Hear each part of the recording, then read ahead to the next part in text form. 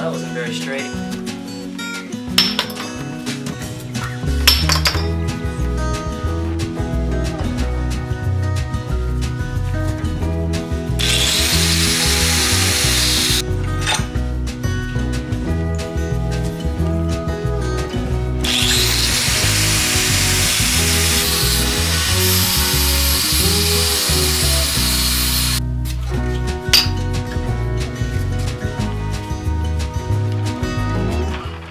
So if you've been following my channel for a little while, you know that earlier when I first started doing videos, I had tried a Damascus experiment with some steam-powered thresher teeth and some lawnmower blade. And I wasn't really super impressed with that, which is why I haven't made another video about that one or what I've done with it since. To this point, with what we have today in this particular billet, we've got some actually some mild steel and some stainless steel. Now I don't plan on utilizing the steels that comprise this billet here to specifically make up an edge. I'm actually going to make this into raindrop style Damascus and I'm kind of curious to see what it's going to work, look and work. Uh, work like.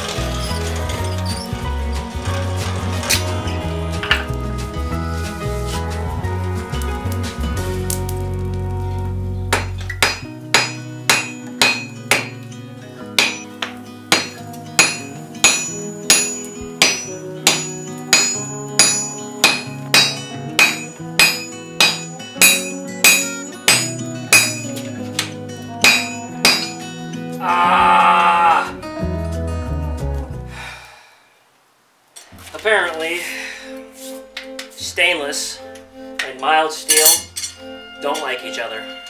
It fell apart.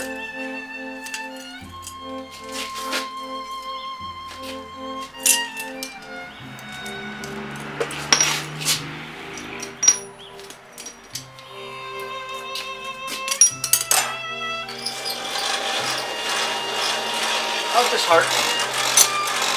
Thought it was taken too, and then it just blew up. Let's try this one.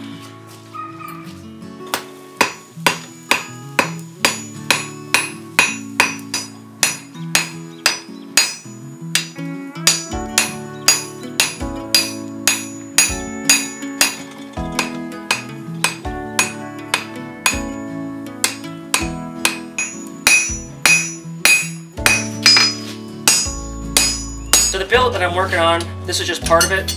Uh, a while ago, I had offered that if anybody could identify the two steels that I happen to have that were labeled in an Instagram post, that those people, the first two people to respond and get it right, I would make something for them and ship it to them. Well, here's what I'm going to utilize, and I'll keep you guys updated uh, via Instagram. So if you want to know what's going on, you should probably get on that, or Facebook, either way. Here's the other half of that billet.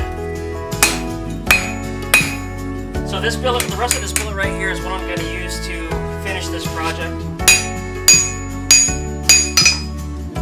And as we get a little bit closer, I'll actually get the whole thing together. Kind of a mix between a halberd and a, well, a pimp stick. So, anyway, could be fun.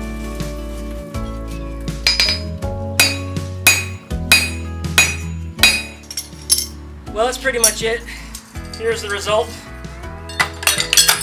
of the first billet. And then we have this one and this one. So, you know, even though that first one was an epic failure, uh, I feel pretty good about this one with the 15 and 20 and the 1095. In the next video, you're going to see some of the things that we're going to be doing with this. I'm actually going to take this to the guy that I'm making this for. He's going to help me by center punching all the spots. This is going to be Raindrop Damascus pattern. I'll probably have one of my friends help me out and put another one of these billets together so I have enough material to actually do what I wanted to do. So until next time, we'll see you later.